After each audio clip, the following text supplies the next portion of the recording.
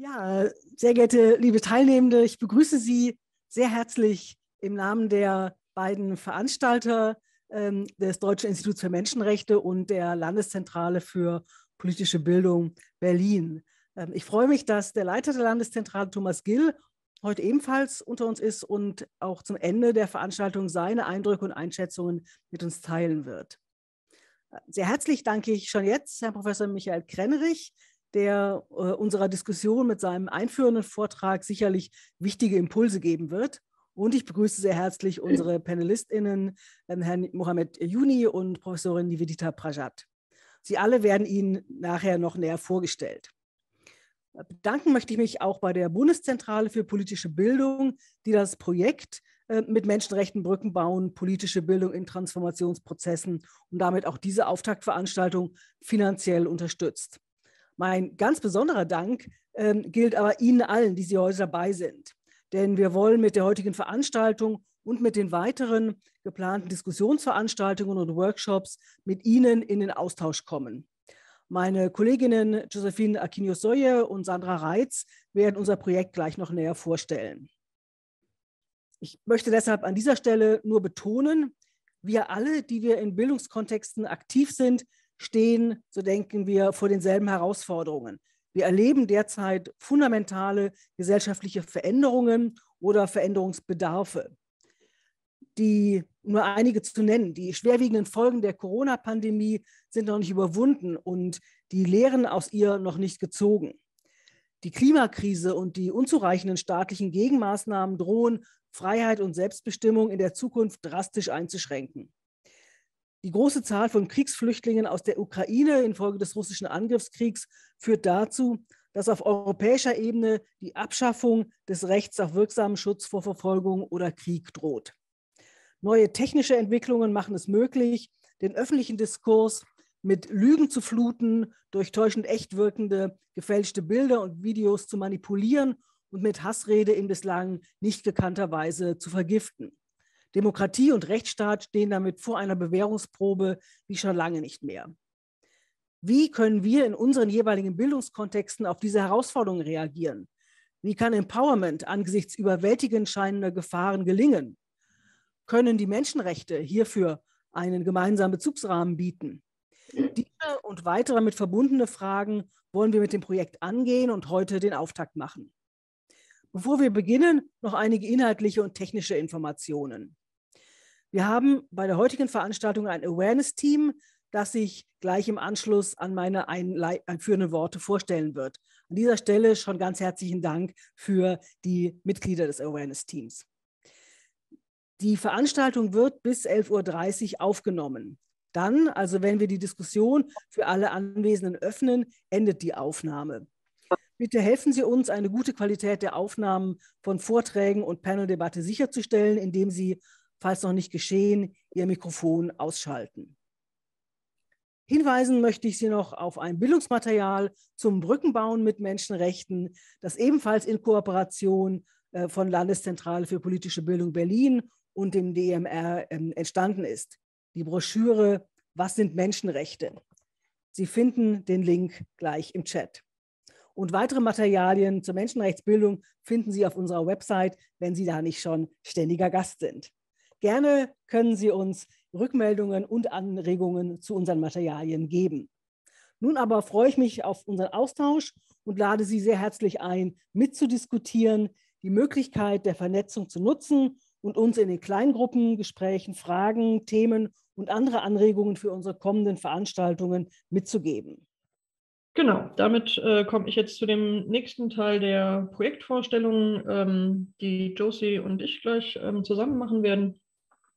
Es ist ja jetzt die Auftaktveranstaltung für ein längeres Projekt. Ähm, deswegen genau, haben wir gedacht, das macht Sinn, nochmal kurz auf ähm, ja, Grund, ähm, Grundpunkte des Projekts einzugehen. Der Titel lautet Mit Menschenrechten Brücken bauen, politische Bildung in Transformationsprozessen. Und das ist ja auch der Titel der heutigen Veranstaltung. Ähm, ich beginne mal mit dem Titel von hinten zur Abwechslung, ähm, weil das die häufigste Frage ist, die gestellt wird. Was meinen wir mit Transformationsprozessen? Das wird auch gleich von Michael Krennerich nochmal aufgegriffen. Ähm, uns ist wichtig, dass es eine offene Liste ist, dass da auch ähm, verschiedene Aspekte nochmal zur Sprache kommen. Aber wir haben, wie Beate Rudolph in der Einleitung schon gesagt hat, in erster Linie an gesellschaftliche Transformationsprozesse gedacht. Ähm, Klimakrise, Ukraine-Krieg, Digitalisierung, oder mehr Sichtbarkeit von Vielfalt in der Gesellschaft. Also verschiedene Prozesse, die teilweise erst vor kurzem angefangen haben, teilweise aber auch schon längere Zeit und die jetzt ja irgendwie einer Bearbeitung ähm, bedürfen. Ähm, was meinen wir im zweiten Schritt mit dem äh, Wort politische Bildung in Transformationsprozessen? Das sind bewusst zwei Lesarten. Zum einen politische Bildung, und zwar breit gedachte politische Bildung, ähm, muss diese Transformationsprozesse aufgreifen in der aktuellen Arbeit und ähm, in den Bildungskontexten aufgreifen. Gleichzeitig befindet sich politische Bildung aber selbst in einem Transformationsprozess und das haben wir auch im Projektantrag versucht nochmal ähm, deutlich zu machen. Ähm, das ist so ein, wir haben es äh, behelfsmäßig mit neueren und ähm, traditionelleren Akteurinnen bezeichnet. Mit traditionell meinen wir AkteurInnen, die, also sprich Organisationen oder auch Privatpersonen, die schon seit Jahrzehnten politische Bildung betreiben und es auch so benennen, ähm, in Konferenzen unterwegs sind, in Verbänden unterwegs und organisiert sind, zum Beispiel in der Deutschen Vereinigung für politische Bildung oder auch im Bundesausschuss politische Bildung. Da gibt es ja verschiedene Organisationen.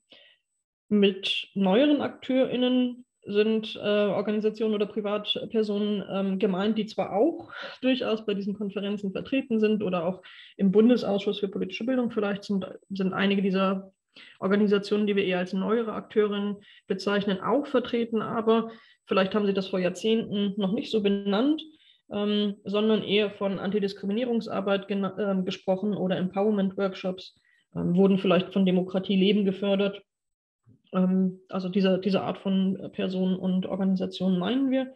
Und jetzt kommen wir zu dem Gesamttitel, ähm, nämlich dem Brückenbauen. Ähm, welche Brücke wollen wir mit Menschenrechten bauen und warum? Einerseits zu den Transformationsprozessen, also die Frage, wie können diese Transformationsprozesse gerecht nach Menschenrechtsmaßstäben bearbeitet und gestaltet werden.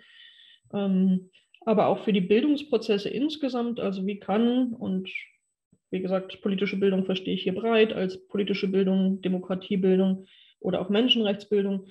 Wie können hier die Bildungsprozesse nach Menschenrechtsgesichtspunkten gut gestaltet werden, also partizipativ, inklusiv und diskriminierungskritisch?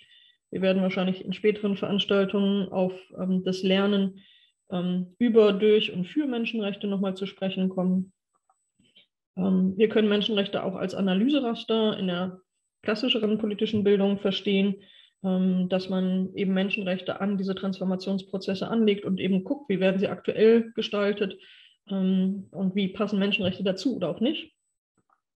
Ähm, wir möchten Menschenrechte aber auch als Brücke anbieten zwischen diesen genannten Akteurinnen, also zwischen den traditionelleren oder den neueren Akteurinnen und damit eben dieses breite Verständnis von politischer Bildung, Demokratiebildung, Menschenrechtsbildung ja, mit unterstützen, Hierarchie dabei vermeiden, ähm, sondern vielmehr menschenrechtliche Aspekte unterstützen im Diskussionsprozess.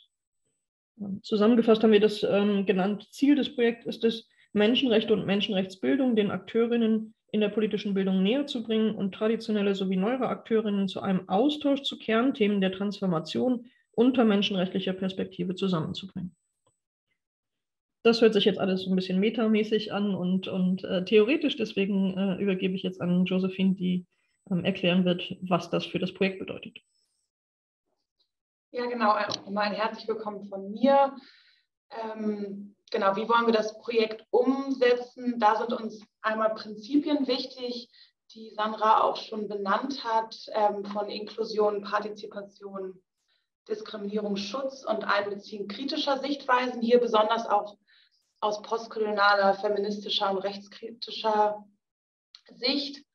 Und das soll einerseits im Prozess, also wie wir jetzt heute auch das Awareness-Team geplant haben, um Diskriminierungsschutz zu ermöglichen oder einen Schritt in diese Richtung zu gehen, ähm, verwirklicht werden, aber auch das Mitdenken und Abbauen von Barrieren, wie wir durch die Abfrage von besonderen Bedarfen in den Anmeldungen das versucht haben zu tun und ähm, unsere Beteiligung, unser Treffen mit den Critical Friends, ähm, die uns genau partizipativ und kritisch unterstützt haben und auch heute noch nicht so viel, aber auf jeden Fall zukünftig auch stärker partizipative Veranstaltungsformate, wo wir auf ihre Beteiligung auch ähm, uns freuen und ähm, uns das wünschen.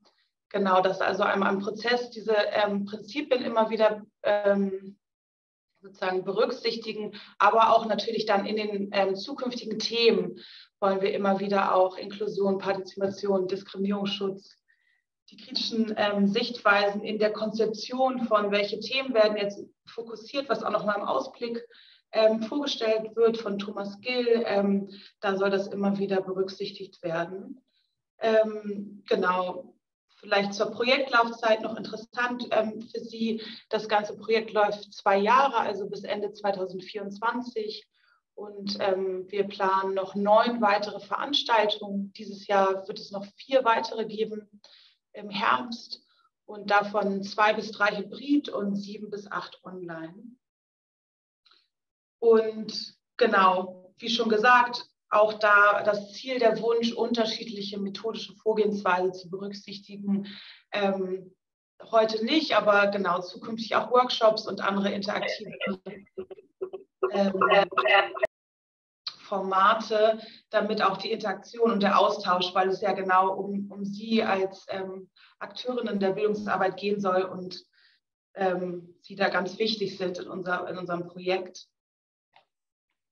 Und genau, was Sie vielleicht auch schon gesehen haben, als Sie sich angemeldet haben, war das verlinkt als weitere Information, dass es die Website gibt, wo jetzt gerade noch nicht viel steht, aber da soll die Langfristigkeit des Projekts auch gewährleistet werden, sodass wir dort Materialien in unterschiedlicher Form aufführen werden. Da sind wir ganz stark im Austausch mit unserer Abteilung auch ähm, der Kommunikation, ähm, Videos bereitzustellen, Literatur, wo Sie uns auch gerne Empfehlungen schicken können.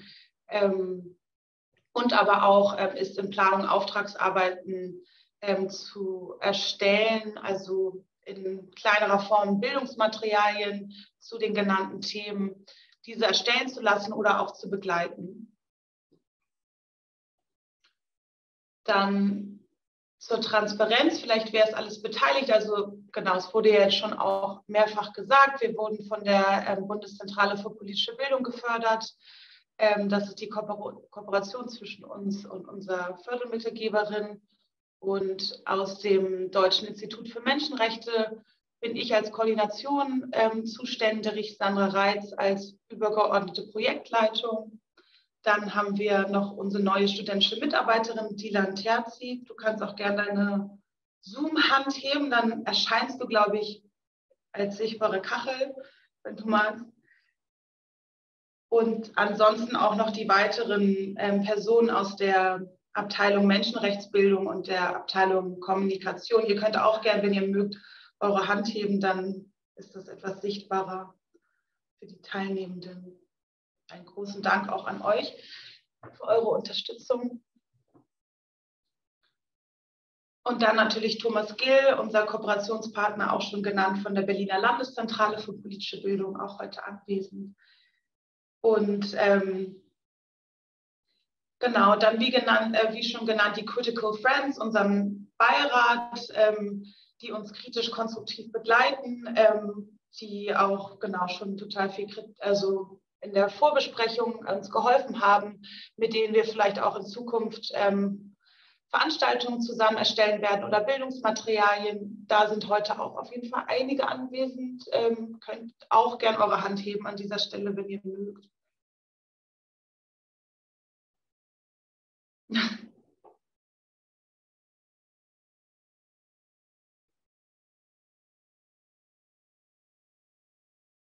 Genau. Und dann als letzte Bemerkung, genau, freuen wir uns natürlich auf Ihre Beteiligung. Da können Sie natürlich bei jeder Veranstaltung sich aktiv beteiligen. Wir hatten auch an einen Verteiler gedacht, den wir erstellen lassen, um Sie immer über aktuelle Veröffentlichungen, nächste Veranstaltungen ähm, informieren zu lassen. Da kommen wir bestimmt nochmal auf Sie zu. Ähm, um zu fragen, ob sie auf so einen Verteiler äh, möchten und damit das auch alles datenschutzrechtlich richtig ist. Und ähm, genau, auch ähm, freuen wir uns immer über E-Mails für thematische Schwerpunkte, Kooperations, Workshops, Ideen und später in den Breakout Rooms wird es ja auch nochmal die Gelegenheit geben, da ähm, solche Ideen auch zu platzieren.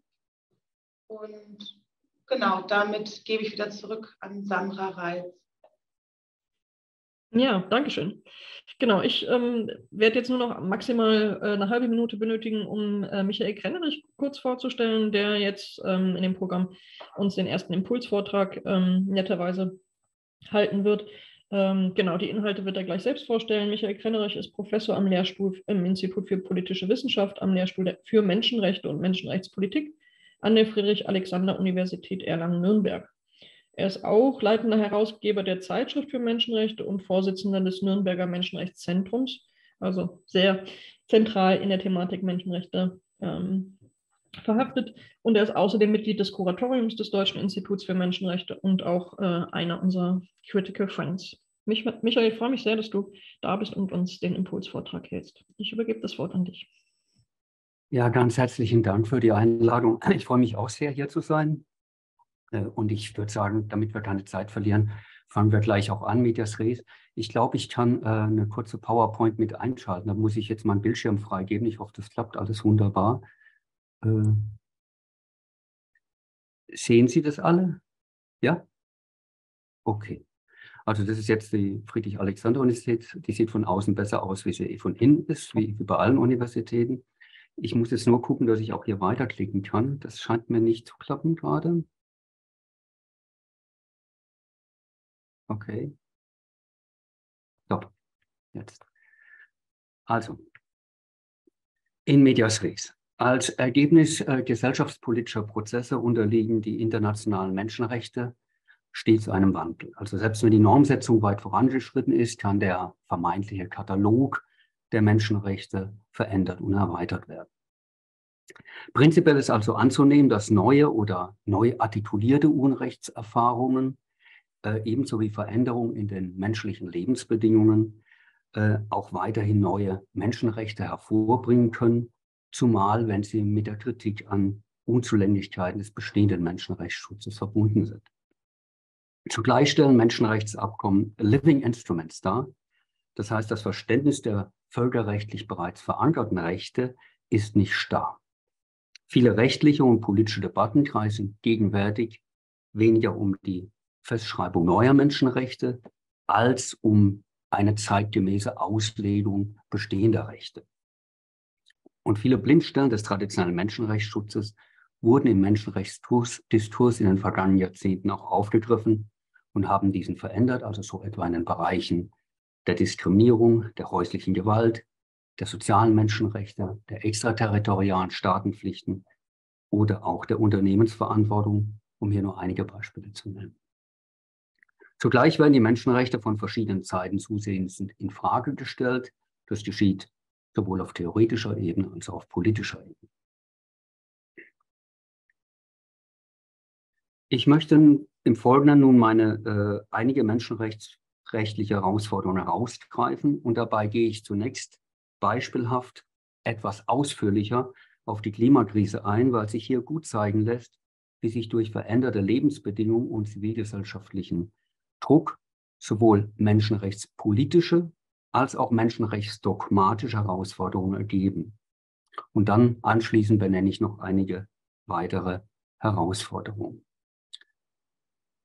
Die Klimakrise stellt bereits insofern eine Herausforderung dar, für die Menschenrechte dar, als sie mit erheblichen menschenrechtlichen Folgen einhergeht. So gilt es zunächst einmal aufzuzeigen, welche Bevölkerungsgruppen weltweit bei der Nutzung ihrer Menschenrechte auf welche Weise vom Klimawandel betroffen sind. Hierzu gibt es etliche Studien, aber viele mehr wären nötig. Menschenrechtspolitisch stellt sich dann weiterführend die Frage, wie sich die Menschenrechte der Betroffenen bestmöglich schützen lassen und wie Schutz-, Anpassungs- und Ausgleichsmaßnahmen beim Umgang mit der Klimakrise so ausgestaltet werden können, dass diese menschenrechtlichen Anforderungen auch genügen. Internationale Menschenrechtsinstitutionen haben zwar inzwischen das Thema aufgegriffen, doch die Institutionen und Akteure, die sich mit Klimawandel und mit Menschenrechtsschutz beschäftigen, müssen noch weitaus stärker zusammengeführt werden. Dies gilt auch auf der zivilgesellschaftlichen Ebene. Hier ist zu klären, inwiefern und unter welchen Bedingungen Menschenrechts- und Klimaaktivistinnen gemeinsam vorgehen oder sich in ihrem Handeln zumindest ergänzen. Unter welchen Bedingungen formieren sich in diesem Bereich transnationale Netzwerke, Koalitionen oder gar gemeinsame Bewegungen heraus? Möglicherweise sind ja die anthropozentrische, individualrechtliche Auslegung der Menschenrechte, deren kommunitäre Dimensionen ja oft übersehen werden, ein gemeinsam Wirken abträglich. Oder auch die Blindstellen der bisherigen Menschenrechte gegenüber den Rechten künftiger Generationen. Möglicherweise formulieren die Menschenrechte aber auch wichtige individualrechtliche Ansprüche an den Klimaschutz und ergänzen damit das vor allem auf Staaten bezogene Umweltrecht. Inwieweit werden etwa strategische Prozessführung oder auch nur die Sprache der Menschenrechte als Katalysatoren genutzt, um sich für Klimagerechtigkeit einzusetzen?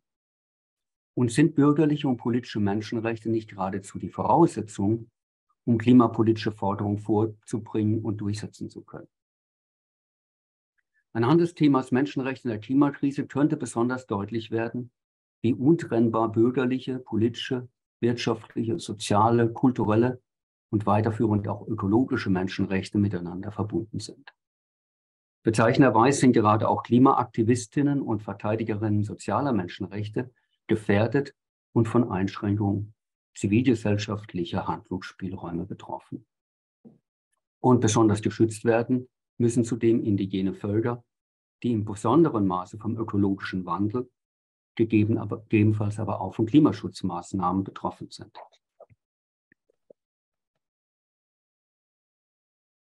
Der Diskurs um die Klimagerechtigkeit stellt aber nicht nur eine politische, sondern auch eine rechtsdogmatische Herausforderung an die Menschenrechte dar.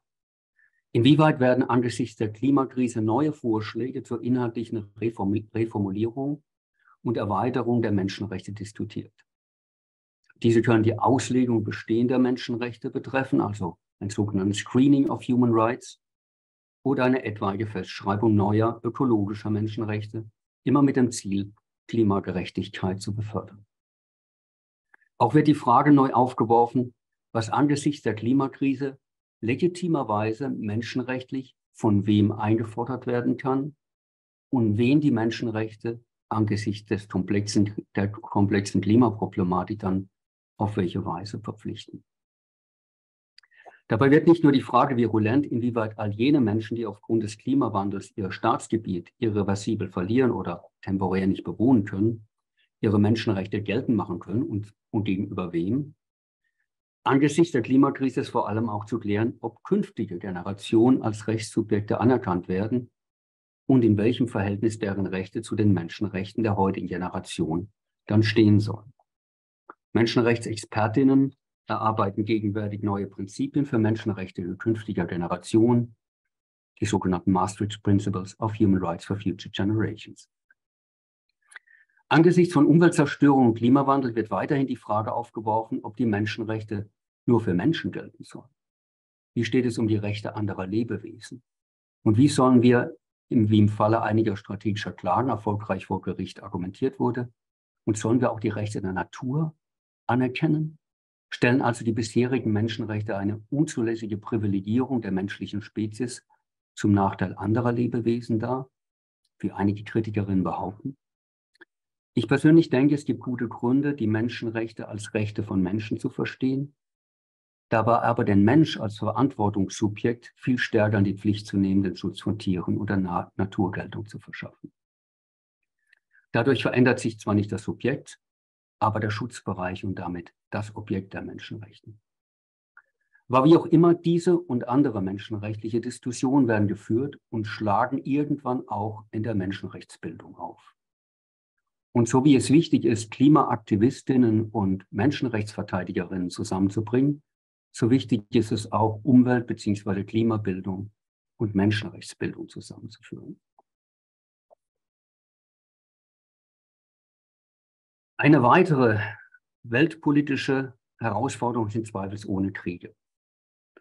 Also ich, die Klimaausführungen waren jetzt ein bisschen ausführlicher, ich bin jetzt ein bisschen kürzer und fange mit den Kriegen an. Das sind zwar beileibe keine neuen äh, Erfahrungen, aber Russ der russische Angriffskrieg auf die Ukraine und die viel zitierte Zeitenwende haben hierzulande sowohl den friedenspolitischen als auch den menschenrechtspolitischen Diskurs beeinflusst. Dabei wird nicht nur die Frage aufgeworfen, wie aus menschenrechtlicher Sicht angemessen auf Kriege und Kriegsverbrechen zu reagieren ist.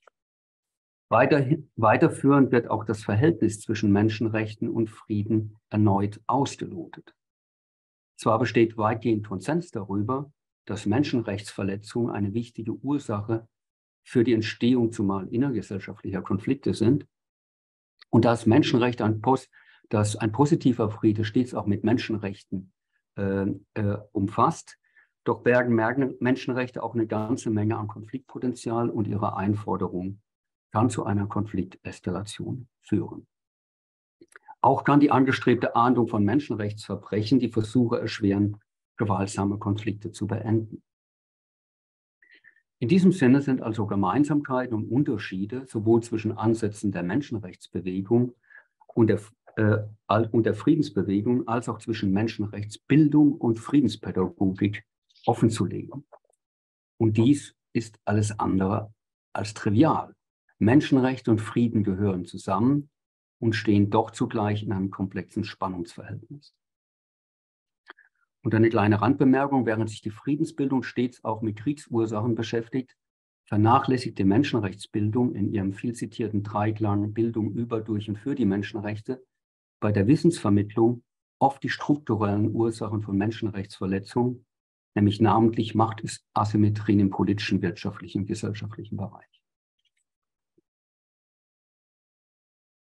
Wenn man Menschenrechte in einem anspruchsvollen, emanzipatorischen Sinne versteht, dann stellen diese autoritäre Praktiken und Strukturen in Politik, Wirtschaft, Gesellschaft und im Privatleben in Frage.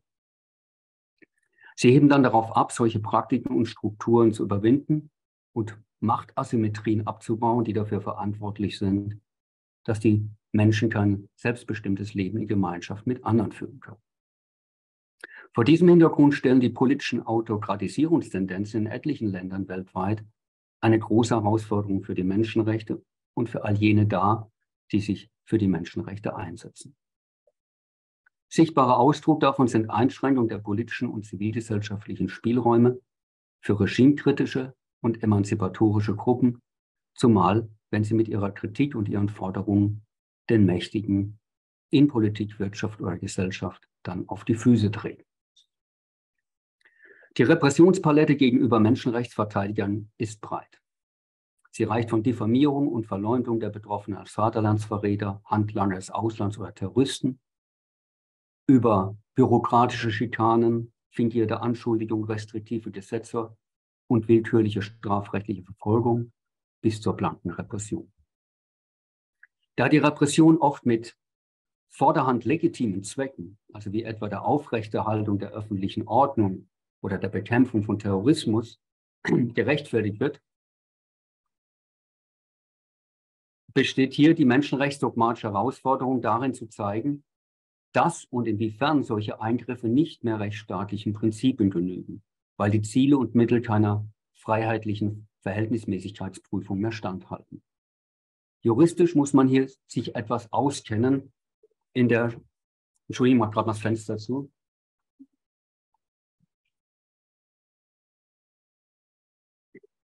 Juristisch muss man sich hier etwas auskennen in, in der Frage der, der Schranken und der Schranken-Schrankenproblematik. Um den vordergründigen Rechtfertigung von Autokraten etwas entgegenhalten zu können. Es reicht also nicht darauf hinzuweisen, dass in Menschenrechte eingegriffen wird. Damit, da die allermeisten Menschenrechte nämlich absolut gelten, muss auch immer gezeigt werden, dass illegitimerweise und unverhältnismäßig in die Menschenrechte eingegriffen wird. Gerade auch in der Menschenrechtsbildung wird diese Frage oft wenig Aufmerksamkeit geschenkt. Und menschenrechtspolitisch wiederum besteht die Herausforderung darin, Menschenrechtsverteidigerinnen zu schützen und zu unterstützen, ohne sie zu bevormunden oder sie gar zu ihnen gar zu schaden. Durch Diffamierungskampagnen und NGO-Gesetze, die sich gegen die ausländische Unterstützung von Menschenrechtsverteidigern richten, wird dies erheblich erschwert. Das für den Menschenrechtsschutz so wichtige Band zwischen den Menschenrechtsverteidigerinnen vor Ort und ihren Unterstützerinnengruppen im Ausland ist hier trotz aller widrigen Bedingungen zu, zu bewahren oder auch erst zu knüpfen. Und wie die Unterstützung und Zusammenarbeit aussehen soll, wissen dabei die Betroffenen am besten. Dabei ist es wichtig, oder daher ist es wichtig, gut zuzuhören. Und dies gilt selbstverständlich auch für die Zusammenarbeit in der Menschenrechtsbildung.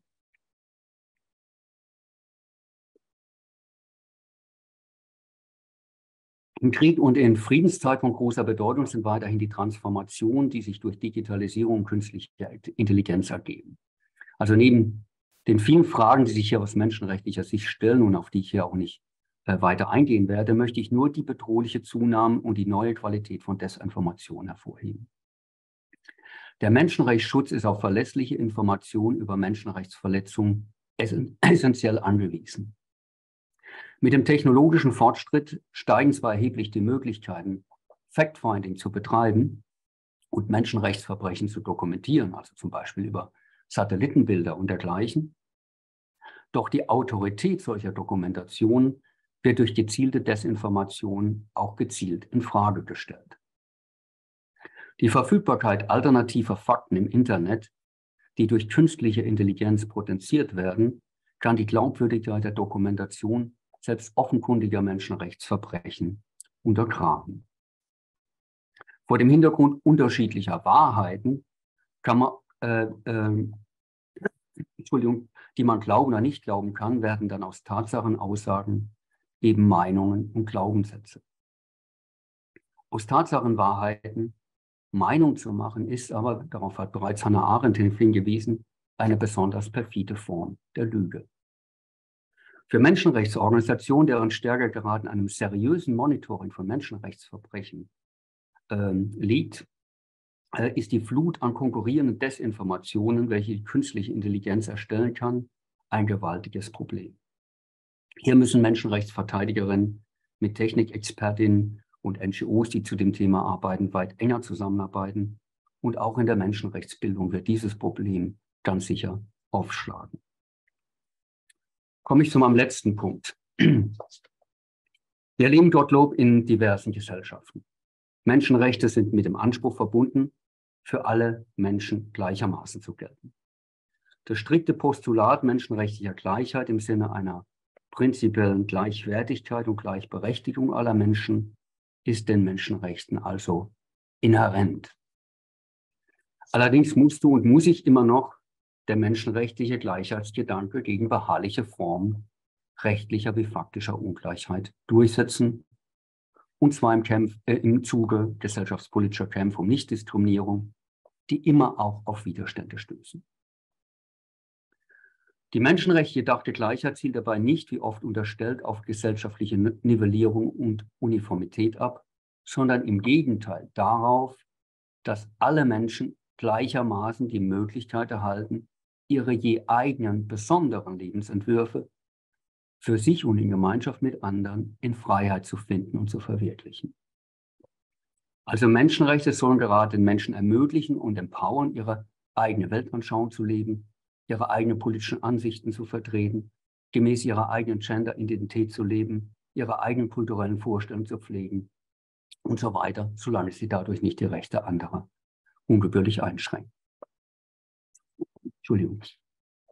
Menschenrechte sind also diversity-friendly.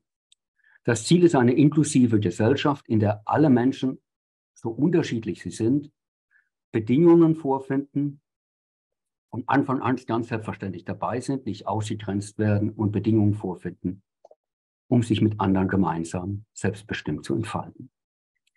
Und so gilt es immer wieder, Mechanismen der sozialen Ausgrenzung und auch, und auch der strukturellen Diskriminierung aufzudecken und, sowohl, und das sowohl in der politischen Praxis als auch in der Menschenrechtsbildung. Und dabei ist es ungemein wichtig, dass die Betroffenen ihre Diskriminierungserfahrung öffentlich artikulieren wie dies etwa Frauen, Menschen mit Behinderung, LGBTI, LGBT, LGBTIQ-Personen sowie People of Color in vergangenen Jahren auch deutlich getan haben. Nichts über uns ohne uns lautete das Motto, das bereits die Behindertenrechtsbewegung deutlich formuliert hat. Das heißt aber natürlich nicht, dass nur die Betroffenen über Diskriminierung reden. Die Überwindung der Diskriminierung benötigt immer die gesamte Gesellschaft. Sie benötigt Solidarität, einen gemeinsamen Diskurs und ein grundlegendes Verständnis von einer inklusiven Gesellschaft, welche die Diskriminierungserfahrung der Betroffenen, und zwar aller Betroffenen, ernst nimmt und zugleich einen Gesamtkontext des Ziels einer inklusiven Gesellschaft stellt. Es bedarf also einer Perspektivenverschränkung. Dabei muss immer wieder klar gemacht werden, dass durch die Überwindung der Diskriminierung einzelner Minderheiten die gesamte Gesellschaft weiterentwickelt wird. Antidiskriminierungsarbeit hat also ein transformatives Potenzial in Richtung einer insgesamt inklusiven Gesellschaft. Und dabei müssen auch jegliche Ausgrenzungsmechanismen in den gemeinsamen Blick genommen werden. Dazu gehört natürlich auch die soziale Diskriminierung, die nicht unter unser allgemeines Gleichbehandlungsgesetz fällt. Und dazu gehören auch Gruppen, die sich schlecht organisieren können und leicht übersehen werden, wie etwa Wohnungslose, ausländische Haushaltshilfen oder Betroffene von Menschenhandel. Und natürlich gehören auch Geflüchtete und Menschen ohne regulären Aufenthaltsstatus dazu. Die Tatsache, dass deren Menschenrechte nicht nur in den Herkunfts- und Transitländern, sondern auch an den Grenzen zur Europäischen Union und innerhalb der Europäischen Union massiv verletzt werden, ist menschenrechtlich ein nicht hinnehmbarer Zustand. Und der Rechtsruck in einigen europäischen Ländern lässt es leider unwahrscheinlich erscheinen, dass sich daran etwas in Kürze ändert. Deutlich sichtbar ist dies bei den gegenwärtigen Verhandlungen über ein neues gemeinsames europäisches Asylsystem. Hinzu kommen so manche Gegenbewegungen gegen Flüchtlingsschutz, gegen Frauenrechte, gegen LGBTIQ-Rechte und gegen Antirassismus, die in Europa erstarkt sind. Und umso wichtiger ist es, die Betroffenen von Ausgrenzung und Diskriminierung und ihre Initiativen noch stärker mit Menschenrechtsorganisationen in Austausch zu bringen und zusammenzuführen. Das menschenrechtliche Ziel einer inklusiven Gesellschaft bietet hierfür einen wichtigen Anknüpfungspunkt und auch hier gilt, den Betroffenen ist du zuzuhören. Also die Kunst des Zuhörens ist gewissermaßen gefragt. Ein letzter Satz zum Schluss. Es ist wichtig, dass die politische Bildungsarbeit die Kontroversen um die Menschenrechte abbildet und sich damit, äh, dass sie sich die Kontroversen abbildet und sich damit konstruktiv auseinandersetzt und die Weiterentwicklung der Menschenrechte auch angemessen nachhält. Manchmal kommt die Menschenrechtsbildung doch recht verstaubt daher. Das gilt natürlich auch für die Frage, wie die Menschenrechte durch große weltpolitische und innergesellschaftliche Transformation und durch artikulierte Unrechtserfahrungen herausgefordert werden und inwieweit Menschenrechte, zumindest verstanden im Sinne eines kritisch-emanzipatorischen Projektes, diesen Wandel mitgestalten können. Ich habe da jetzt einige Transformationen beispielhaft genannt und stichpunktartig ausgeführt.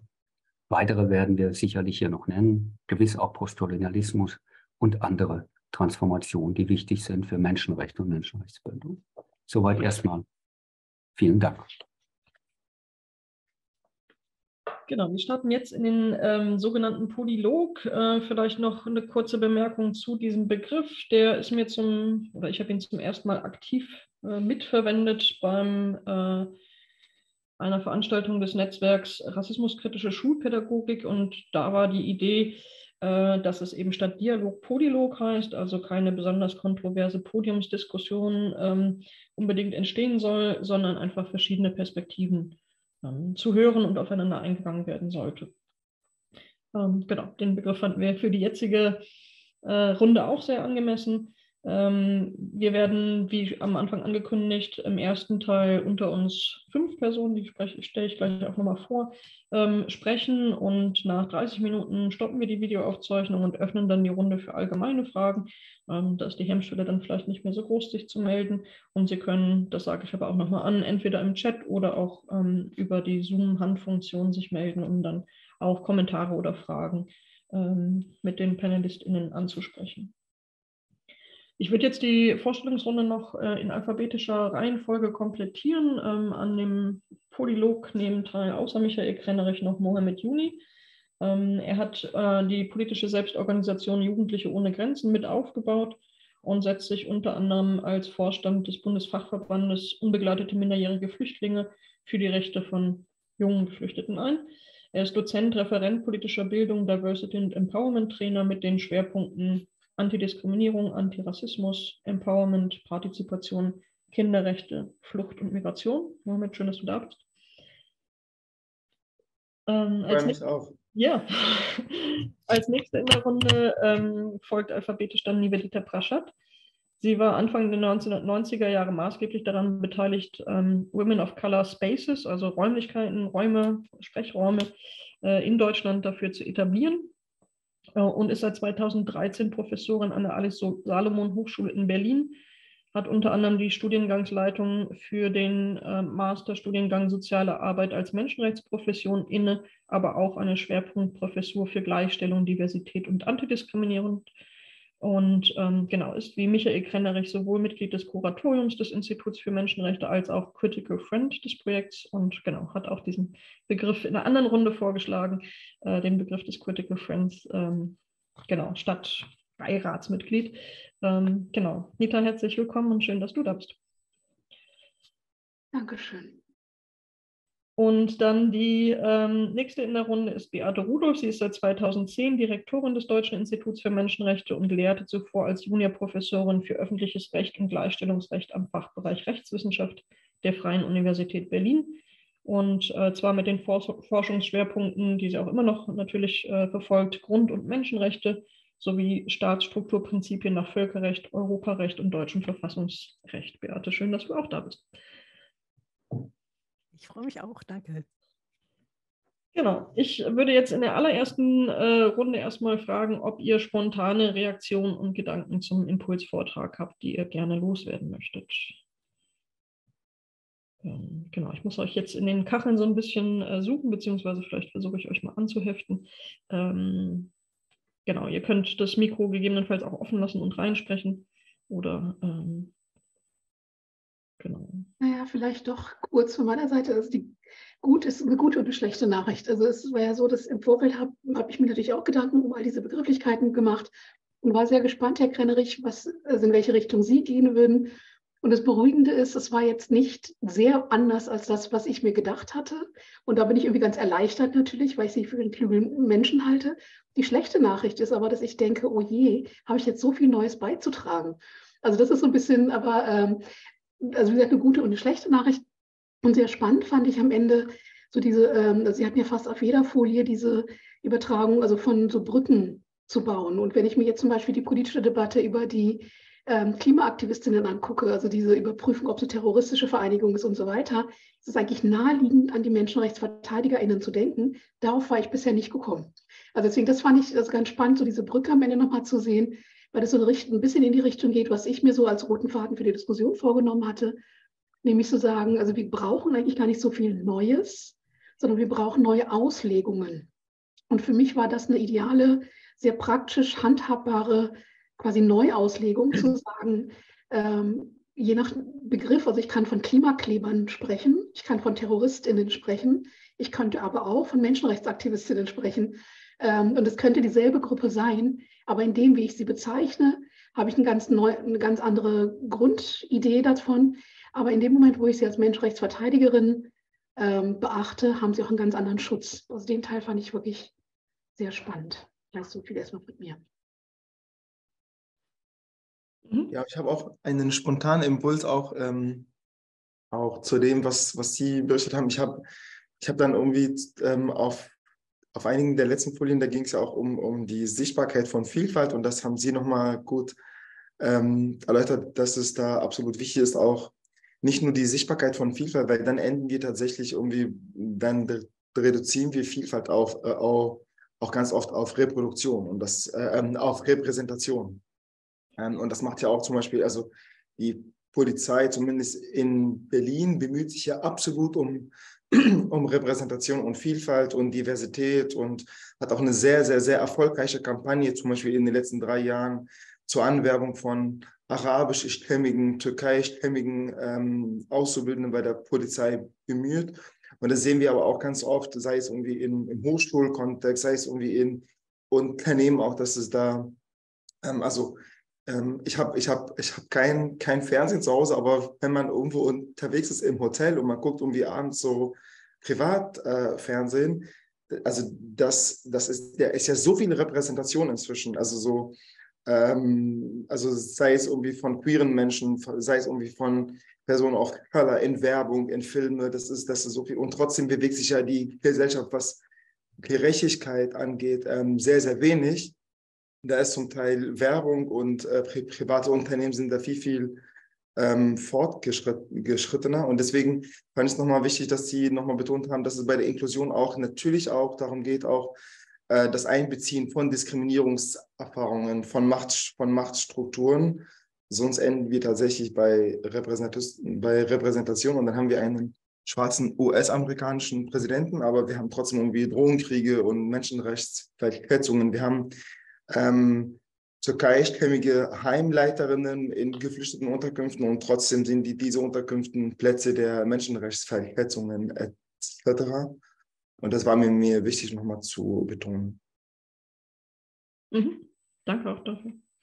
Ja, dann schließe ich mich an. Ähm, äh, auch erstmal mit einem ganz herzlichen Dank. Ich fand das einen großartigen ähm, äh, Überblick äh, und ich fand es besonders schön, also einerseits das Brückenbauen aufzuzeigen, andererseits aber auch nochmal zu differenzieren zwischen menschenrechtspolitischen Dimensionen und menschenrechtsdogmatischen.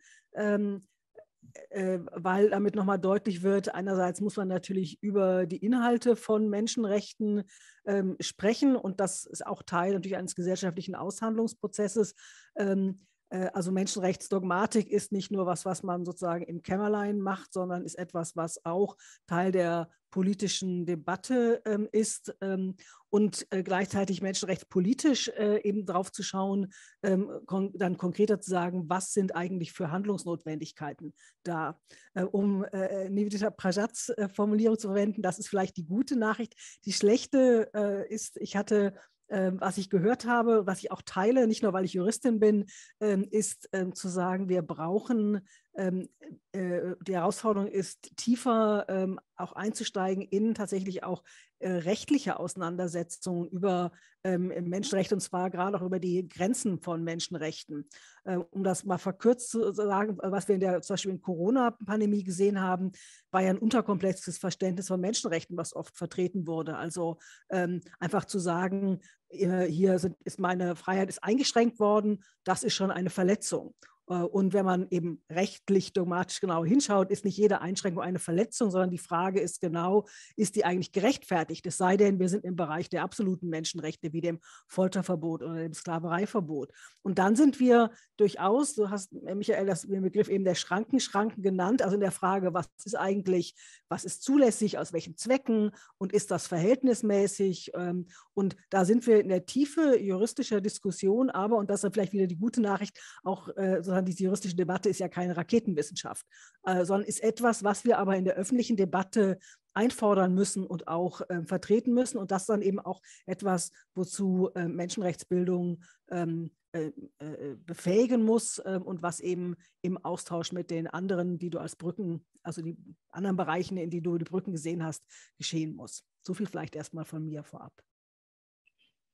Danke. Äh, weil der Begriff jetzt zum zweiten Mal äh, gefallen ist, äh, vielleicht nochmal ähm, genau die Schranken und die Schrankenschranken. Ähm, Gibt es da vielleicht die Chance, das anhand eines Beispiels nochmal deutlich zu machen für diejenigen, die nicht so juristisch tief bewandert sind? Also wenn ich, wenn ich beispielsweise demonstriere äh, und äh, äh, auf der Demonstration es zu Gewalt kommt, ist es natürlich ein legitimer Eingriff, dass möglicherweise die, die Demonstration äh, oder die Versammlung geschlossen wird, aufgelöst wird. Das wäre jetzt sozusagen ein Eingriffszweck, der legitim sein muss. Das heißt, er muss auch einer gesetzlichen Grundlage erfolgen, er muss ein legitimes Ziel verfolgen, in dem Fall die Aufrechterhaltung äh, der, öffentlichen Ordnung und des Schutzes. Er muss mit Mitteln erfolgen, die verhältnismäßig sind und zielgerichtet sind. Verhältnismäßig wäre also, dass man da jetzt nicht direkt gleich mit, äh, wie das ja in einigen äh, Ländern leider stattfindet, sofort mit äh, sogar schießt oder sofort zu drastischen Maßnahmen führt. Äh, das wäre völlig unverhältnismäßig. Die Schranken-Schrank-Problematik betrifft genau das. Äh, und das Problem bei vielen Autokraten ist, dass sie sagen, naja, schaut an, wir versuchen doch auch nur Terroristen zu bekämpfen, wir versuchen auch, wenn es dazu äh, zu, äh, zu Gewalt kommt bei, äh, oder zu, zu Demonstrationen kommt, äh, haben wir legitime Eingriffszwecke. Das Wichtige ist, dass diese Diskussion völlig vordergründig ist und man muss schauen, wann tatsächlich ein Eingriff noch rechtmäßig ist. Und das nennt man dann tatsächlich die Schranken-Schranken-Problematik. Also die meisten Menschenrechte sind nicht absolut, wie das Folterverbot oder die Sklavereiverbot. Das heißt, man kann unter bestimmten Bedingungen, Ausnahmebestimmungen eingreifen. Dies muss aber nach rechtsstaatlichen Prinzipien erfolgen. Und vielleicht, weil ich finde, einer der Probleme in der Menschenrechtsdebatte ist, dass wir immer Beispiele nehmen von außerhalb von Europa, um Menschenrechtsverletzungen darzustellen. Ich würde gerne die Aufmerksamkeit nach Berlin bringen, letzte Woche, wo es ja wirklich mehrere Hausdurchsuchungen gegeben hat ähm, bei Klimaaktivistinnen, wo ja genau dieser Vorwurf laut geworden ist. Ist es verhältnismäßig? Ist es gerechtfertigt? Also da müssen wir gar nicht nach autokratischen Staaten gucken. Und eine ähnliche Debatte gibt es um sogenannte ErdbusterInnen. Das sind Leute, die eben Werbeplakate ähm, ja, verändern für eine soziale Botschaft. Materialwert 1 Euro. Also man würde sagen, ich hoffe doch sehr auch im Sinne einer Steuerzahlerin, dass die Staatsgewalt nun bei 1 Euro Sachschaden nicht losgeht. Wir wissen aber, dass es in Berlin Verfahren gegeben hat gegen ErdbusterInnen, wo es genau um diesen Vorwurf geht, zu sagen, es ist nicht mehr verhältnismäßig. Also das, was der Staat hier macht, ist politisch ähm, gewollt und politisch gefärbt und steht eigentlich in keinem Verhältnis zu der eigentlichen Tat. Und damit kommen wir zu einem der Hauptproblematiken aus meiner Sicht in diesem Diskurs um Menschenrechtsverletzungen. Ich fände es fatal, wenn wir die Diskurs um Menschenrechtsverletzungen in einer Weise führen, dass der Eindruck entsteht, Menschenrechtsverletzungen finden nur woanders statt. Also das ist, vielleicht nehme ich jetzt eine Frage vorweg, weil das, also am Ende kommt ja die Frage, was sind die Herausforderungen von Menschenrechtsbildung?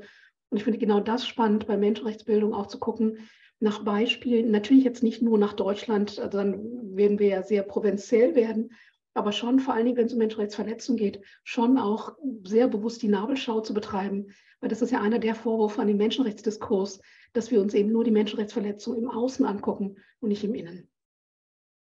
Wenn ich, wenn ich mich da entschuldigen darf, ich hatte versucht, ein besonders krasses Beispiel zu finden, weil an krassen Beispielen kann man was darstellen, aber vollkommen d'accord. Also wir wir müssen schauen, was, was die Menschenrechtssituation auch in Deutschland ist, wenn wir kohärent auch nach außen hin Menschenrechtsförderung betreiben wollen. Das ist also völlig ein, einverstanden. Ja, und vielleicht, wenn wir uns tatsächlich äh, den Kontext von Flucht und Migration anschauen, das ist ja durchzogen von Menschenrechtsverletzungen, sowohl ähm, im Herkunftsland, sei es irgendwie durch Menschenrechtsverletzungen, sei es irgendwie durch Kriege, sei es durch ähm, ähm, Verwüstungen auch zunehmend, irgendwie Umweltverschmutzungen, die auch kann, kann, kann es auch, auch in unmittelbarer ähm, Nähe sind zu, zu, zu unserem Konsumverhalten auch. Ähm, das heißt, sei es irgendwie die Überfischung von, von, von bestimmten Gebieten. Dann die Flucht ist auch ganz, ganz oft natürlich von Menschenrechtsverletzungen auch, also auch Migration und Flucht wird ja auch in der, in der Regel, so wie Sie auch angesprochen haben, diese Kriminalisierung von Menschenrechtsverteidigerinnen, das ist ja auch im Kontext von Flucht absolut vorhanden. Wir haben auch die Kriminalisierung von Flucht und von Migration, die äh, Kriminalisierung von, ähm, von, von Fluchthelferinnen etc. Und dann kommen die Menschen in Deutschland an und dann geht es ja erst recht weiter mit, der, mit den Menschenrechtsverletzungen, sei es irgendwie, dass, dass äh, Datenschutz plötzlich irgendwie im Kontext von Flucht gar keine Rolle mehr spielt. Die äh, Handys von Betroffenen werden ohne Ausnahme und ohne, ohne Genehmigung ausgelesen. Jede Privatsphäre wird dann nicht mehr geschützt. Wir haben die Unterkünfte, wo es, ähm, ja, wo es zu tagtäglichen Menschenrechts-, Kinderrechts-, Frauenrechtsverletzungen irgendwie kommt, ähm, Trennungen von Familien. Wir haben ähm, die, die, die Unterfinanzierung von Beratung, von, von, von unabhängiger Beratung und auch die Kriminalisierung von Vereinen, von Organisationen, die sich für Geflüchtete einsetzen. Ähm, immer wieder, wo, wo, wo nicht klar ist, können solche Projekte wie zum Beispiel in Berlin im BBZ, die ja seit über 20, 25 Jahren Beratungsarbeit machen und auch da, also tatsächlich seit 25 Jahren von Jahr zu Jahr nochmal neu planen. Es gibt keine Planungssicherheit, weil auch die Prekarisierung und die Kriminalisierung ähm, ähm, und bestimmte rassistische Mediendiskurse ja auch dazu führen, dass, dass es keine stabile Finanzierung gibt von, von Unterstützung für Geflüchtete. Ja, danke auch für die Ausführungen nochmal. Ähm, okay, das Screensharing sollte, glaube ich, nicht passieren jetzt gerade. Ähm, genau, ich versuche trotzdem einfach mal weiterzumachen und hoffe, dass irgendjemand das Problem lösen kann. Ähm, ich wahrscheinlich im Zweifelsfall selbst, genau. Ja, ähm, genau. Ähm, ja danke für die ähm, Bemerkung. Und ich glaube, äh, an der einen oder anderen Stelle ist auch schon so ein bisschen aufgekommen, welche Themen ähm, euch vor allem beschäftigen. Ich frage trotzdem nochmal nach dem Begriff der Transformation. Das kann sein, dass euch bestimmte Transformationsprozesse vielleicht besonders ähm, nochmal beschäftigen in euren Kontexten. Ähm, ne, die Idee des Polylogs, auch nochmal die unterschiedlichen Kontexte und die Perspektiven, die daraus kommen, hervorzuheben. Oder vielleicht auch die Frage hatte Nita noch ähm, zwischendurch gestellt, ähm, was ist euer Verständnis von Transformation? Äh, genau. Gibt es da was, was für euch offen liegt, wo ihr sagt, okay, ähm, das ist ein Prozess, der mich in meinem Kontext gerade als allererstes ähm, beschäftigt. Das kann aus der Liste sein, die Michael ähm, schon äh, vorgelegt hat, aber vielleicht auch, wir haben ja eine bewusste, eine offene Liste gemacht. Ähm, Gibt es noch einen Transformationsprozess, der vielleicht noch nicht genannt wurde, der in eurem Kontext aber eine wichtige Rolle spielt? Ähm, genau. Und wenn das beides nicht, ähm, ihr kommt aus unterschiedlichen äh, Professionen, ähm, wie geht ihr mit dem Transformationsbegriff um? Was bedeutet das für euch? Was transformiert sich da in was? Vielleicht kann ich einfach wieder anfangen, weil also die Liste ist sehr lang. Deswegen habe ich aus Gründen der Fokussierung mir drei Punkte herausgenommen und beruhigenderweise kamen fast alle Punkte auch schon mal vor. Aber ich glaube, wichtig ist, sich klar zu machen, also auch aus meinem Verständnis, und ich glaube, das hat auch Hans Joyce mal geschrieben, dass Menschenrechte eigentlich schon ein Ergebnis eines Transformationsprozesses sind. Und dass wir das nicht vergessen dürfen, weil das passiert immer wieder. Dann dieser Begriff des Living Instruments, den hatte eben Michael Krennerich auch benutzt. Und ich würde das vielleicht auch übersetzen in sowas wie Entwicklungsoffenheit. Und ich finde, die Menschenrechte in sich haben ja mehrere Mechanismen, ähm, ja, be oder beinhalten mehrere Mechanismen, die ein Transformationspotenzial haben. Ich nenne das nur in zwei Beispielen. Das eine sind die Individualbeschwerden, die sehr viel zu konzeptioneller Klarheit beitragen. Und das andere sind die General Comments oder die General Recommendations, die eben äh, wirklich sehr, sehr alte Dokumente immer wieder updaten. Das heißt, eigentlich ist sehr viel vorhanden. Die schlechte Nachricht ist aber wiederum, dass sehr wenig Menschen das wissen. Ich mache das an einem ganz banalen Beispiel deutlich. Studierende sind manchmal ganz enttäuscht, wenn sie CEDAW lesen, also die Frauenrechtskonvention und sagen, die ist ja vielleicht ein bisschen altmodisch, da kommt der, der Begriff Gewalt gegen Frauen nicht vor.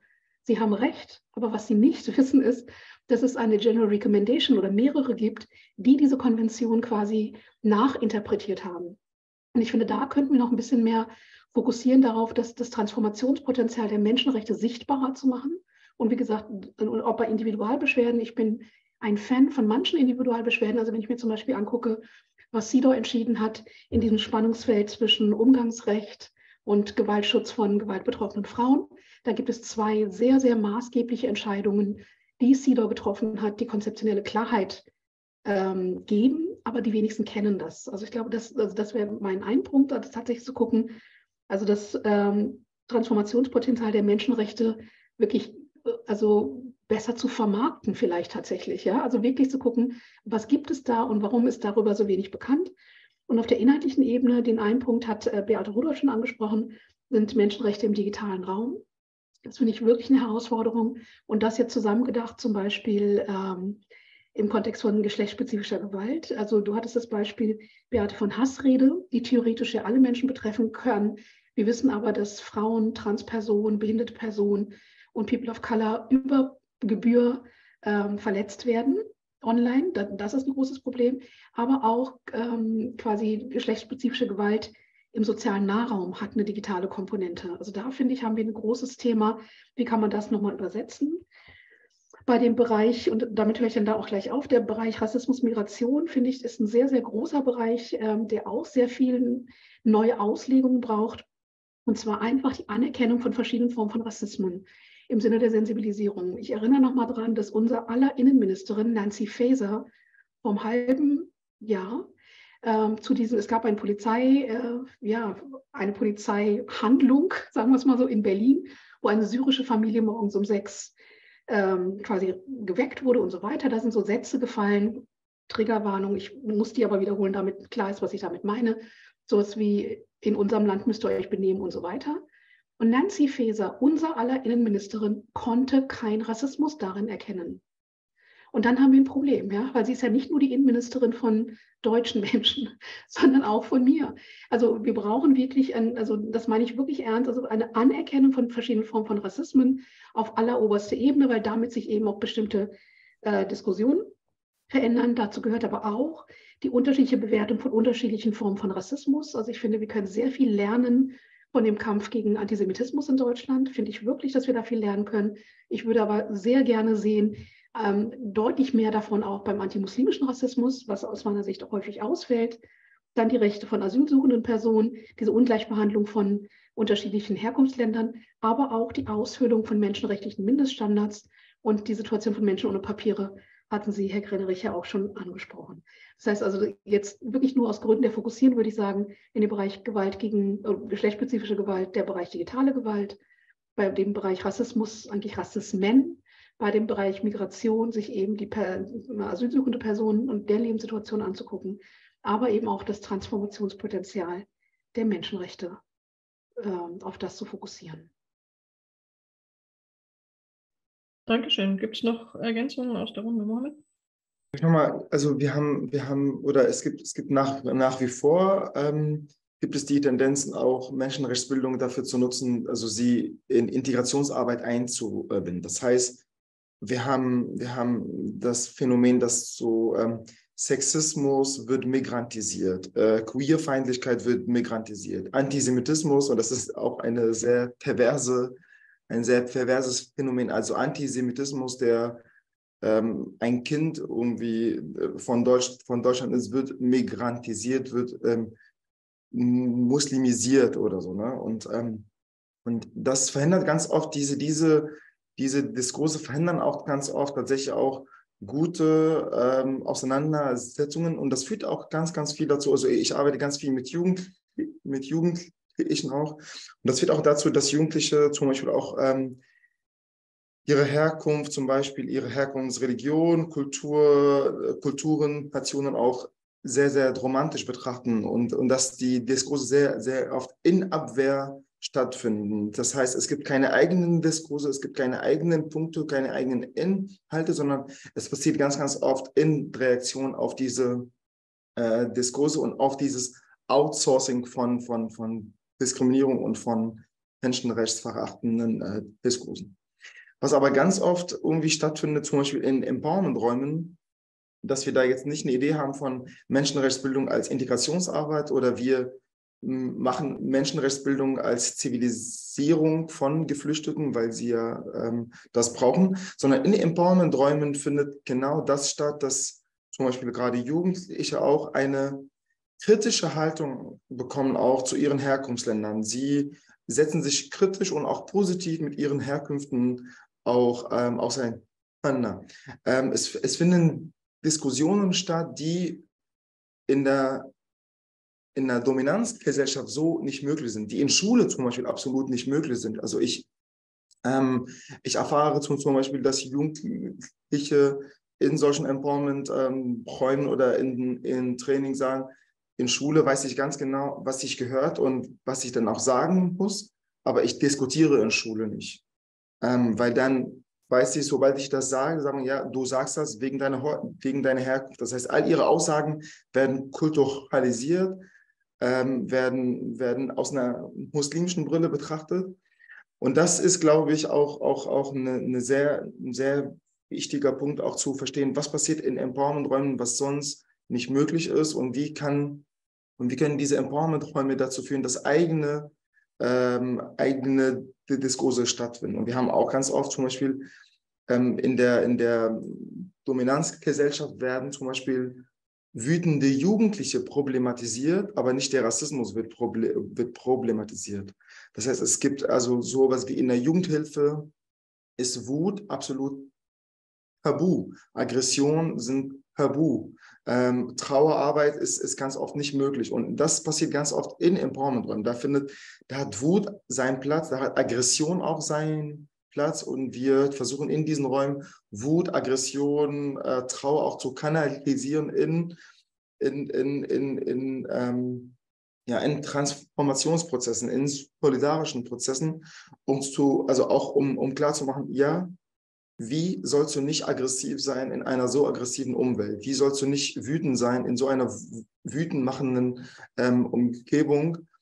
Ähm, und ich glaube, diese Potenziale von Empowerment-Räumen werden sehr oft unterschätzt oder sind gar nicht auf dem Schirm. Es gibt, es gibt unheimlich viel Geld und Ressourcen für Sensibilisierung von Weißen, für Rassismus zum Beispiel.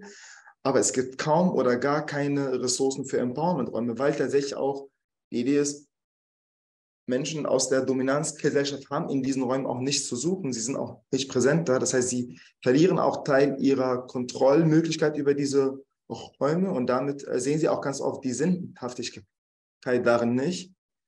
Und ähm, genau, aber sie, sie haben ihren, ihren Sinn, wir müssen das nur verstehen. Ja, danke noch für die Ergänzung. Dann, genau, Beate. Genau, wenn ich, ich würde auch gerne noch auf ein paar Punkte hinweisen.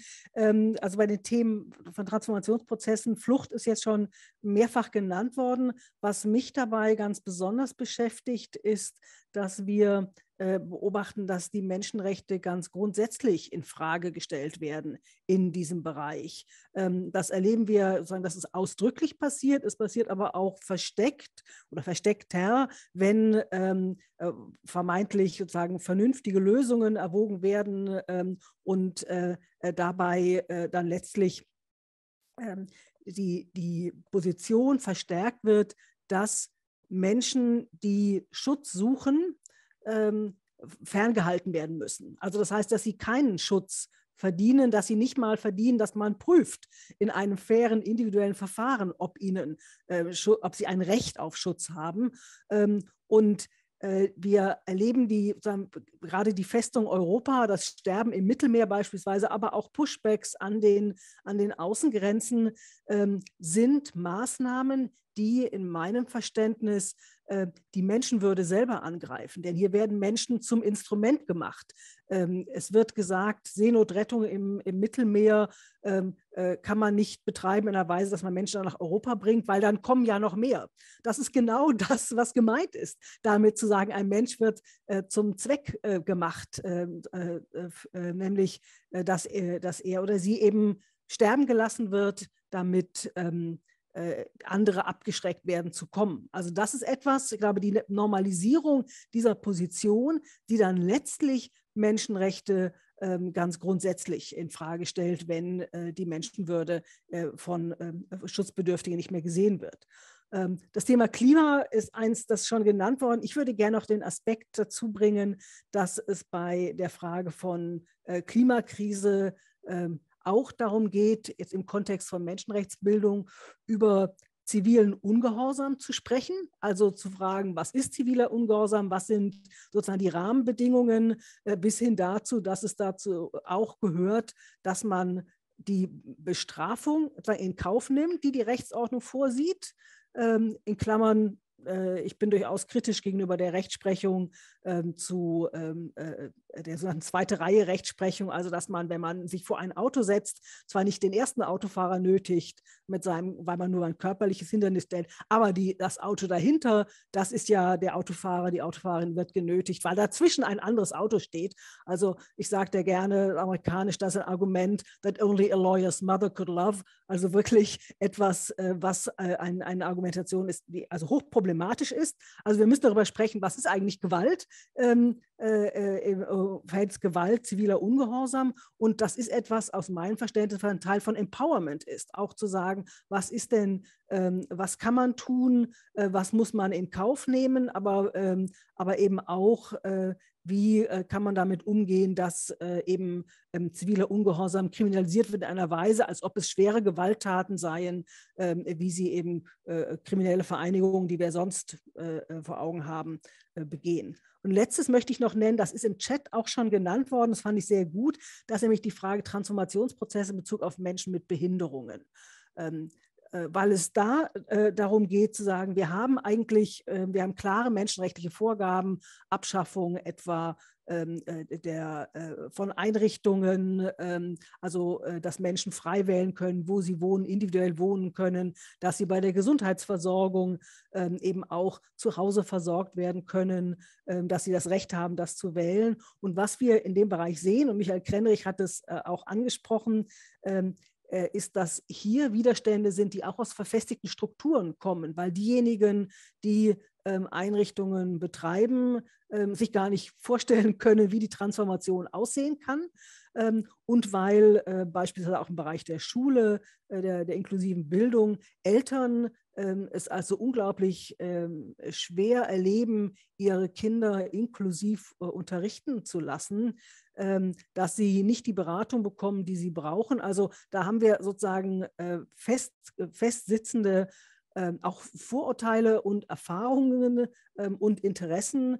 Ähm, und das heißt, das ist etwas, was wir auch im Kontext von Menschenrechtsbildung bearbeiten müssen. Wie kann es gelingen, auch hier Brücken zu bauen zu denen, die ja, wenn sie Einrichtungen betreiben, eben auch nur das Beste wollen für Menschen mit Behinderungen? Wie kann man ähm, dazu beitragen, dass auch da menschenrechtliche Anforderungen äh, verstanden und verinnerlicht werden?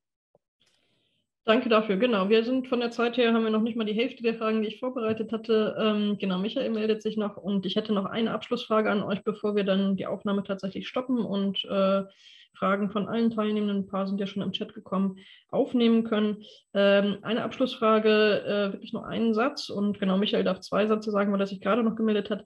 Ähm, Michael hat so ein bisschen gesagt, manchmal ist die Menschenrechtsbildung ein bisschen verstaubt. Habt ihr eine kreative Idee? Was wäre euer einer Punkt, ähm, wie Menschenrechte, Menschenrechtsbildung auf die Transformationsprozesse so eingehen kann, dass es weniger verstaubt wird? Ähm, genau, ich gebe zuerst ab an Michael, damit er die eine Frage noch unterbringen kann oder den Kommentar, weshalb er sich gemeldet hat. Ja, ich, ich kann es kombinieren. Also das erste mit dem Kommentar ist erstmal, also erstmal, wie Beate sagt, also es ist bedenklich, dass Menschenrechte so leichtfertig auch zum Teil dann ab äh, äh, in Frage gestellt werden. Also wenn ich den Spahn anhöre äh, und er sagt, man muss sich vielleicht doch nicht an die Europäische Menschenrechtskonvention halten, dann verstehe ich nicht, dass das ein, einer, der mal Minister war und in, in eine führende Position der CDU hat, sich so verfassungs- und menschenrechtswidrig sozusagen äußert auch. Ähm, interessant finde ich auch, und das ist auch eine Herausforderung, dass sich auch Gruppen auf Menschenrechte beziehen, die, man, die sich eigentlich nicht darauf beziehen dürfen, weil sie, also wenn die, ich, um es mal konkret zu machen, wenn sich die AfD auf Menschenrechte bezieht, dann bekomme ich immer meine Probleme damit, weil wenn man sich auf Menschenrechte beruft, auf die eigenen Menschenrechte beruft, dann muss man immer akzeptieren, dass alle anderen Menschen gleichwertig und gleichberechtigt auch sich auf Menschenrechte beruhen. Und es gibt eine Reihe von Gruppen, rechte Gruppen, die genau dies nicht tun. Und ich glaube, da muss man auch dagegenhalten. Wir haben hier in Nürnberg beispielsweise eine Demonstration von äh, Verschwörungstheoretikern, die gehen da immer durch die, durch die Straßen und schreien für die Menschenrechte und nennen das auch Menschenrechtsdemonstrationen. Äh, das ist natürlich hochproblematisch, wenn der Begriff dann so missbraucht wird äh, nach dem Motto, wir haben Recht auf Meinungsfreiheit, aber wenn dann jemand, ein Journalist, dann kritisch darüber beredet, kriegt er eins, äh, äh, wird er sozusagen äh, bedroht oder, oder und so weiter. Ne? Also diese, diese, dieses Verständnis, das sind unsere eigenen Rechte, aber nicht bereit, an die Rechte anderer auch gleichberechtigt und gleichwertig die anderen Menschen zu sehen. Ich glaube, da muss man ein bisschen dagegenhalten, damit die Menschenrechte nicht wirklich auch so ein, ähm, äh, sie, sie, neigen ja ohnehin dazu, gerne missbraucht zu werden und instrumentalisiert zu werden politisch.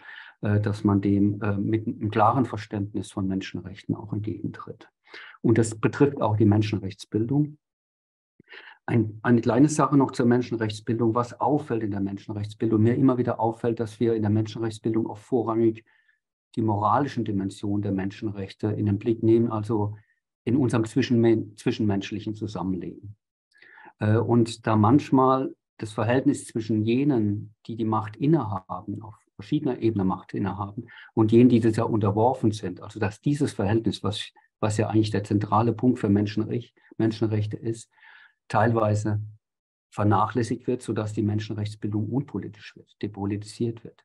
Letztendlich geht es um Machtasymmetrien, die die Menschenrechte angehen müssen und nicht nur, dass wir uns gegeneinander lieb sind oder tolerant sind, Das heißt also, die Gefahr, dass man auch Menschenrechte mit, mit einfach mit individuellen Werten, die zwischen uns gelebt werden, äh, nur darstellt. Also natürlich ist es wichtig, dass wir diese Werte haben und die Menschenrechte auch eine Kultur haben, ein Leben, aber sie haben eine, eine ganz eindeutige politische Dimension und auch eine transformative Funktion, wie äh, Frau Praschat richtig gesagt hat oder ähm, äh, eindrucksvoll gesagt hat. Äh, ähm, das heißt also, äh, und das kommt mir manchmal in der Menschenrechtsbildung zu kurz. Das heißt also, weil man dann halt die Leute abholen will in ihrem Tagesgeschäft, redet man dann über im Grunde dann das Zusammenleben alltäglichen Geschäft, ohne die, die Strukturen hintendran äh, wirklich zu, äh, zu analysieren und zu hinterfragen. Deswegen vorhin auch mein Hinweis, dass ich manchmal das Gefühl habe, dass im Unterschied zur Friedenspädagogik die Ursachen von Menschenrechtsverletzungen in der Menschenrechtsbildung manchmal zu kurz tun. Mhm. Danke dafür. Genau, ich gucke jetzt noch einmal kurz, ob noch Ergänzungen aus der Runde dringend oben liegen. Sehe ich jetzt gerade. Ja, doch, okay, Nita. Naja, weil die Frage tatsächlich war, also ähm, diese Verstaubtheit der Menschenrechte, die würde ich gerne mal aufgreifen. Und mit, über die andere Sache sind wir schon im Gespräch, diese Idee. Also es gibt ja auch ein Dominanznarrativ, wonach die Menschenrechte angeblich eurozentristisch seien. Und wir brauchen dringend, wir wissen, dass das nicht so ist. Wir wissen aber, dass es dieses Narrativ gibt. Wir brauchen aber Material, was dieses Narrativ bricht und irritiert. Das wünsche ich mir. Ich wünsche mir aber auch äh, sowas wie eine Kampagne. Judy, ich nehme dich jetzt mal als Beispiel. ADEFRA ist eine Menschenrechtsorganisation, die es seit über 30 Jahren gibt. Ihr habt damals den Begriff Menschenrechte nicht benutzt. Aber wie geil wäre das denn, sowas wie traditionelle Menschenrechtsaktivistinnen und das Foto wäre Judy Gummich als Beispiel. Oder Morbin Juni, ja, Jugendliche ohne Grenzen. Also, dass wir tatsächlich Material haben, was das, den Begriff traditionell benutzt und diesen Begriff traditionell aber füllt mit Bewegungen, die häufig nicht mit Menschenrechten in Verbindung gebracht werden. Und ehrlich gesagt würde das auch Spaß machen, sowas herzustellen. Deswegen wollte ich das doch nochmal dazu beitragen. Ja, vielen Dank dafür. Genau, ich sehe ein paar lächelnde Gesichter. Ich kann mir das auch sehr gut vorstellen.